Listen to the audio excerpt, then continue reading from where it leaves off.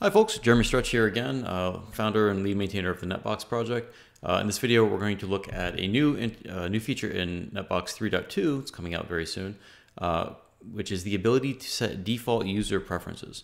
Uh, so let's take a look at the UI here. Um, we're going to look at the sites table for this example. All right, so here's the default configuration for sites. So if you if you've never you know reconfigured a table, this is what you're going to see. You're going to see the columns uh, name, status, facility, region, and so on. Uh, but maybe, you know, depending on your use case for Netbox, maybe you don't want yourself or, you know, anyone in your team um, to, to see these default columns. Maybe you, you have different, different preferences. So for example, maybe you don't use uh, the tenant column. So let's get rid of that. And instead, uh, let's, let's say we want to see time zone and um, maybe you don't use uh, grouping. Maybe you just use region.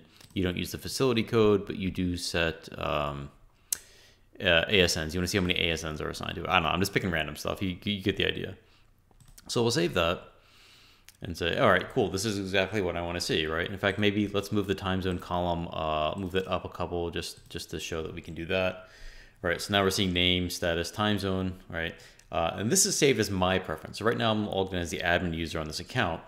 Uh, so anytime I go, you know, if I go back to the tenant list or whatever, and I go back to sites, uh, that's going to be retained, right? That's still going to show me the exact same thing every time I go there, unless I go here and either you know change the configuration or wipe it out by doing the reset button here.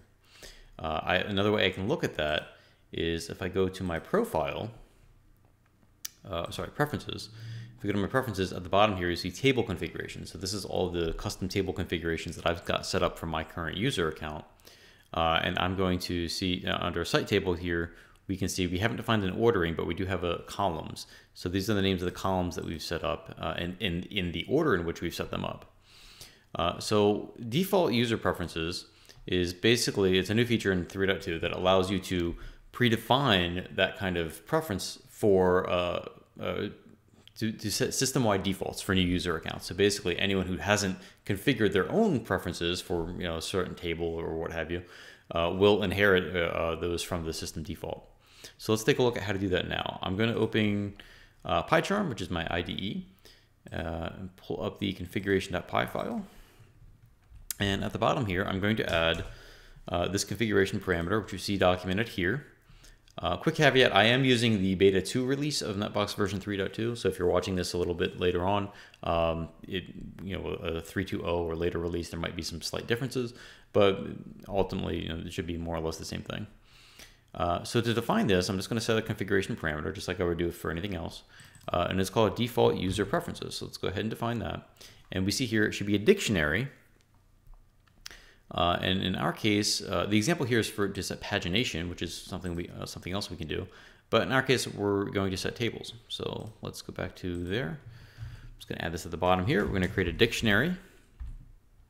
And the, the root key here is going to be tables which itself is going to be a dictionary mapping table names to, um, to preferences. So if we take a look back at our UI, and we see the preferences, we see that our table name is site table. So let's put that in there. All right, so we're going to call it site table. And what we want to do is have, uh, so that's going to be a dictionary.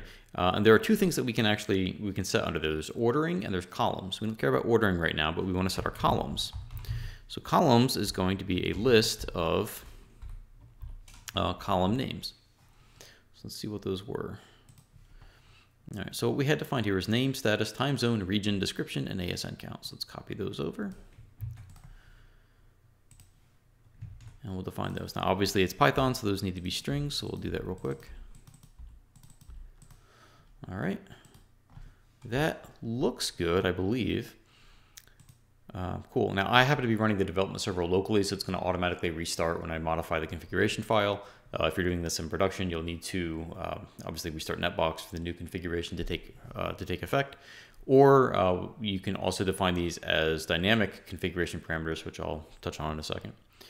All right, so let's go back to our UI. Now, if I go to sites, and let's say, um, just to help demonstrate this, let's say I'm messing around here and I want to see the physical address instead of some other stuff. So I'll just get rid of that. So I'll save. Now here's my new configuration. All right. Nothing's taken effect yet. This is still using my personal config. When I say personal, the the, the um, configuration for the admin account, which I'm logged in under. All right, so this is my configuration. But let's say I'm done with that, and I want to go back to the default now. If I go to reset, notice that now when I've reset it, it goes back to what it was before. Now, if I log in, uh, let's say I'm going to log out, and I'm going to log in as an entirely separate user now who um, doesn't actually think, uh, let's use Alice. Uh, this is just a pre-configured user in the system. Uh, so Alice doesn't have any table configurations in here, but notice when I go to the sites under Alice, I see the same exact configuration that was defined in the configuration um, setting. Uh, I can do some other stuff too, like if I wanted to set ordering, like maybe I want to order it by region for some reason, uh, I can do that, right? So if we affect, you know, um, order the table by region, we can do that. If we go back into here under uh, columns, we can also define ordering. And ordering will be, uh, let's see. So NetBox will remember your order, uh, I believe. So if we go to, under Alice now, if we go to her preferences, oop, I got caught in the middle of a reload. There we go. Right. Notice that ordering here is um, minus region, basically, and saying it's ordering. We happen to be ordering uh, in region uh, inversely. Uh, but let's say that's what we want to do for some reason. So we can do that. Uh, ordering itself is also a list uh, because it's possible to, I, I think, order by um, multiple fields. So let's do that. All right, so let's go back. So we've let me see, we've saved that now as our default. So if I go to back to the site, uh, go back to the sites list here, and I just wipe out my or Alice's preference again. There we go. We see it is named, uh, it is ordered by region. Now the the ordering of these regions, um, incidentally, doesn't quite make sense because it's not ordering strictly alphanumerically, um, but that's okay. Uh, we see that the important part is that the region is uh, is defined. If we go back to uh, here, and let's say we just want to go by name again. Uh, we can do that. Or maybe by like ASN count, we could do that. I just don't have any good values to use right there. Uh, so if we go back, oops, and reload this again.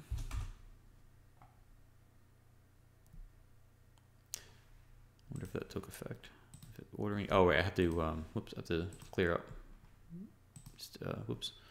I need to reset uh, my, my personal configuration. Right, and now we see, see the little arrow there where it's ordering uh, inversely by name. And if we wanted to, you know, not use, sorry, I kind of skipped over that. The, the uh, prepending the, the name of the column or the field with uh, a hyphen uh, basically negates uh, just in, inverse the order. So if I go back here, now if I reload it, because I don't have a, a, a per personal preference set, right? If I go back here, now that I'm logged in under, under Alice, see for site table, I don't have ordering or columns set. So it's just inheriting everything from the default. So now if I reload this, you'll see that it should order, yeah, it orders name in alphabetical order as you'd expect. Um, so pretty simple. There's not a whole lot to it. Obviously, you can play around. Um, the recommended uh, approach for, for this kind of thing is uh, if you want to, you know, create a custom table configuration or custom list configuration for, for your team or your group, uh, what you would do is do it under your own account first and then go to that preferences view and say, okay, this is basically what I need. I know what I need. Um, so again, just to give you an example, if I save this, now this is a snapshot for, for Alice, regardless of what the system configuration is, this is hers. So if I uh, show that, right, so this will show the ordering and columns that you can set under here um, in configuration.py, so default user preferences. And as was alluded to in the uh, documentation. We can also do things like um, pagination. So for example, if I wanted to set, so, so pretty much anything you see in this form here, page length, paginator placement, all you know, etc. That can also be replicated in configuration.py, and this gives you the hint here as to where what you would configure. So for example, uh, my logged in as Alice right now. Um, my my pagination setting is set to uh, 25, I believe. So if I go to a list that has more than 25 objects, like the virtual machines list here, uh, it is at the 50. Okay, let me see. So if I go back here save that now, if I save my, my preference, that should be set to 50. or I'm sorry, let me put that back as uh, 25. So I save that as 25. And now if I reload virtual machines, right now it's 25. Um, so I can set that if I want, you know, if Alice wants her, her default pagination preference, or if you want for all users, their default pagination preference to be 25 or 50 or 100, you can set that in there as well, um, just as prescribed in the documentation.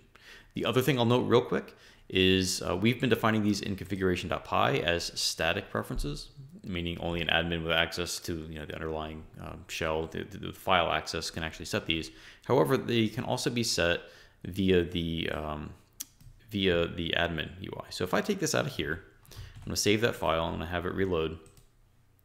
And now I'm going to I'm to log back in as admin real quick.